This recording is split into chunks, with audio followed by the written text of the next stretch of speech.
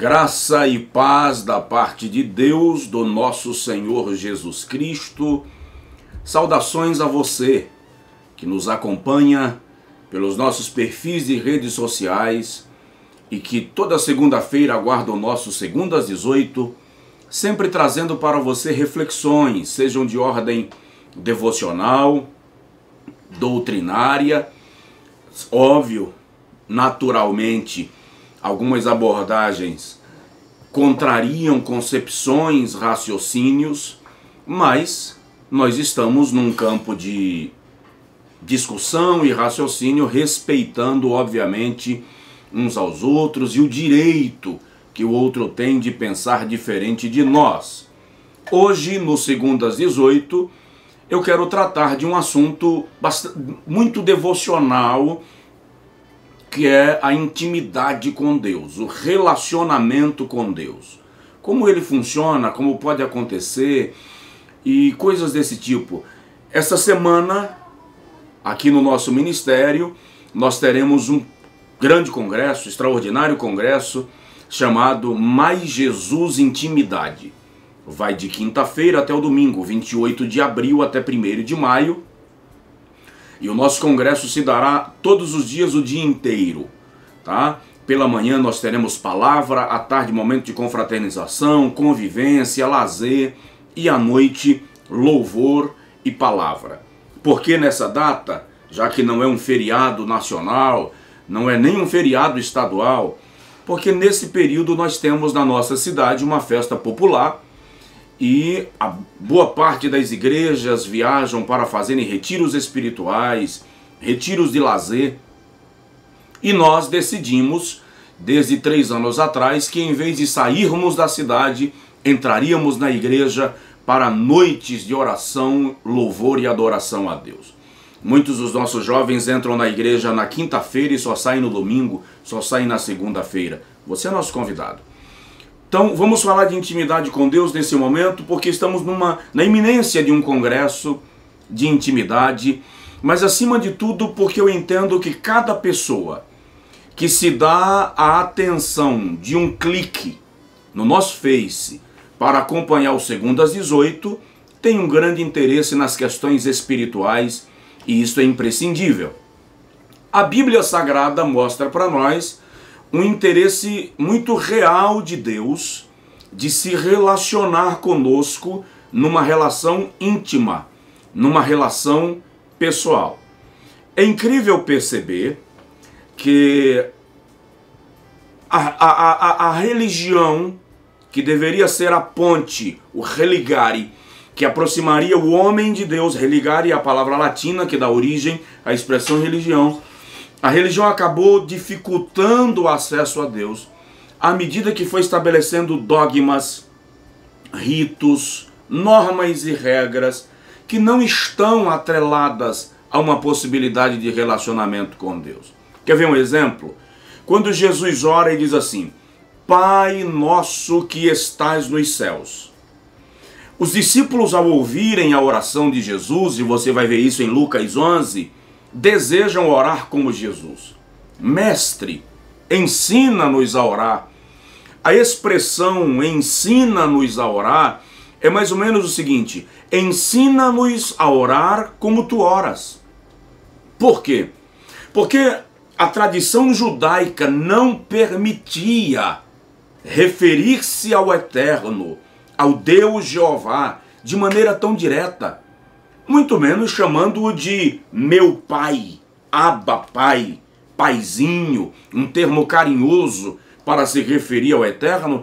Isso era inconcebível na mentalidade religiosa daqueles dias, fosse dos fariseus, dos saduceus e dos demais movimentos religiosos daquela época na Judéia e na Galileia.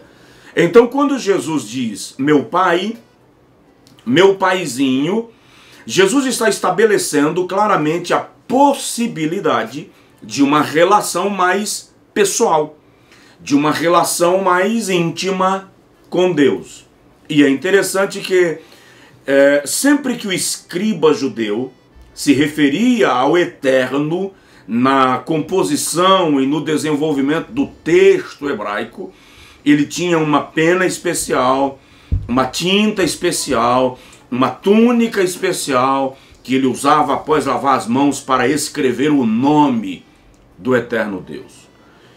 Um, sempre que se referia a Deus, ao Eterno, a Jeová, o judeu o faria na terceira pessoa da conjugação verbal para evitar completamente o risco de tomar o nome do Senhor em vão. Na oração mais conhecida da Bíblia, o Pai Nosso, Jesus tira Deus, o Eterno, da terceira pessoa da conjugação verbal e traz para a segunda. Pai Nosso que estais nos céus.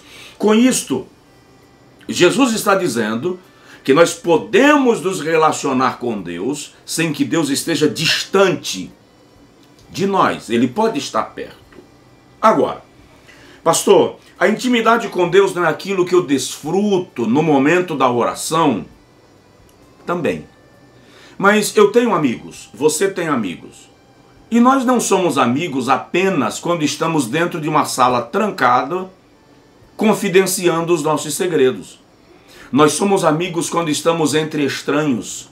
Somos amigos quando estamos na rua. Somos amigos até quando não estamos conversando um com o outro. Então, o que eu quero te dizer é que a oração é aquele momento que você reserva para o amigo para confidenciar com ele algumas questões suas, pessoais. Mas a relação com Deus não pode, não deve estar atrelada única e exclusivamente ao momento da oração, ao momento do culto coletivo, porque gerou-se a concepção que essa relação de intimidade com Deus se dá quando a gente congrega com uma multidão para louvar, aplaudir, dançar, encurvar, fazer gestos. Não estou condenando o culto coletivo, biblicamente ele é necessário para o fortalecimento da relação fraternal, tá? Para o, o, o crescimento no conhecimento de Deus pelo compartilhamento de experiências. Eu estou te dizendo que a intimidade com Deus é um, uma relação pessoal, é um sentimento pessoal e é algo que você pode investir, assim como investe numa amizade que você conta e faz crescer durante muito tempo. Vamos pensar um pouco dessa questão da intimidade com Deus e eu quero lhe convidar neste segundo às 18 para começar a crescer numa relação pessoal com Deus. Crescer por quê? Porque uma amizade não nasce da noite para um dia, ela requer investimento de tempo, de cuidado. Em Oséias capítulo 6, o profeta diz assim: conheçamos e prossigamos em conhecer ao Senhor. Na experiência de Ezequiel, no capítulo 47, Ezequiel entra num rio a convite de um ser celestial, e o rio procede do altar. E a Bíblia vai mostrar para nós que à medida que Ezequiel entra no rio, as águas vão aumentando, se tornando mais profundas. Cobre-lhe os tornozelos, depois os joelhos, depois os lombos, e depois chega num nível de profundidade que Ezequiel precisa nadar e conhecer ambos os lados do rio. Isso denota essa relação crescente, essa comunhão que vai se estreitando com Deus e vai se alargando na sua experiência. A Bíblia diz em Gênesis 5:24 que Enoque andou com Deus. E esse relato vem nos fazer entender que a relação entre Deus e Enoque foi se tornando tão íntima, tão, tão próxima, que o Senhor toma Enoque para si. Como se dissesse: Vem morar na minha casa. De Abraão, a Bíblia diz que ele se tornou, foi chamado o amigo de Deus. De Moisés, a Bíblia diz em Êxodo 33, 11, que o Senhor falava com ele face a face, como qualquer homem fala com o seu amigo. Quando nós chegamos nessa questão da relação íntima de Moisés com Deus, Números 12, o Senhor, quando repreende a Arão e a Miriam por uma questão específica, diz assim: Se tiver em Israel um profeta, tragam-no a mim.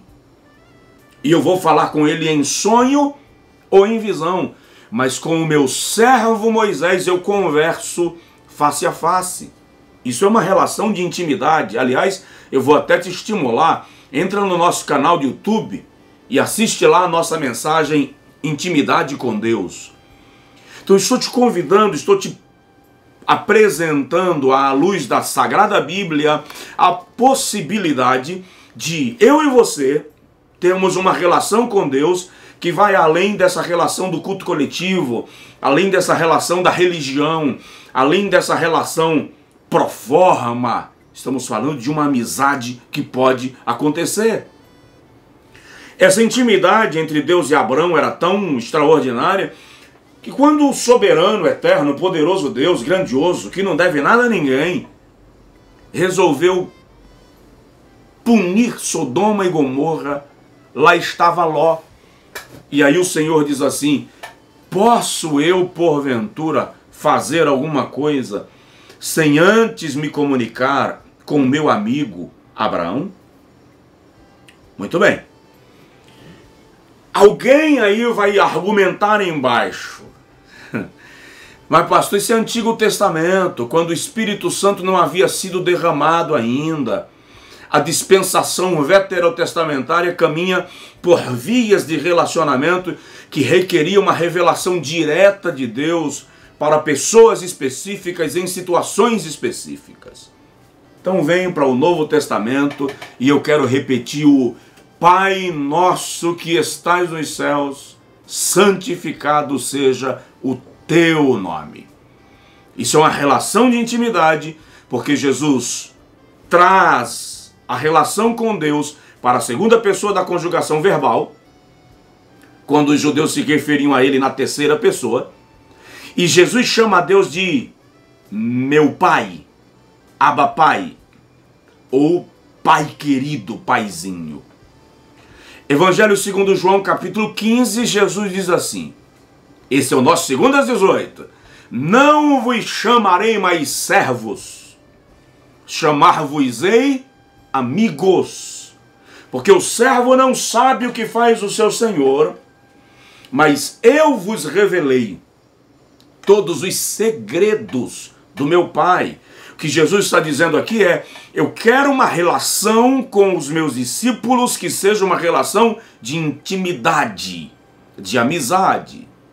E isso é tão estreitado na dispensação da graça, na dispensação da igreja, que o Espírito Santo não veio para morar conosco. O Espírito Santo veio para morar em nós, habitar em nós. Concluindo o nosso segundo às 18, quero te lembrar que Paulo diz que nós somos o templo de Deus para morada no Espírito. Aos Efésios ele diz que nós somos edificados para a morada de Deus em espírito.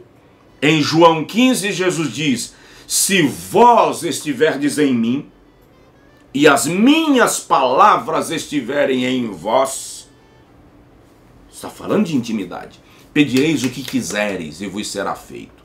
Lá na frente, em João 17, ele diz assim: Ó Pai, eu neles e tu em mim para que o mundo creia que tu me enviastes. Presta atenção, eu neles, unicidade, e tu em mim, para que o mundo creia que tu me enviaste. O que atesta que nós somos de Deus não é o tamanho da Bíblia que a gente carrega, não é a placa denominacional da igreja que a gente congrega, não é o nosso fundo de garantia por tempo de serviço espiritual. O que atesta testa nossa relação com Deus. É esta intimidade que Jesus deseja com os seus. Segundo às 18, Deus te abençoe. Fique com a gente. Se você quiser mais informações do nosso congresso, entre no nosso site, nos nossos perfis de redes sociais, entre em contato com a nossa secretaria e venha estar com a gente. Deus abençoe. Boa semana. Fica com Deus, fica com a gente e desenvolva intimidade com Deus. Forte abraço.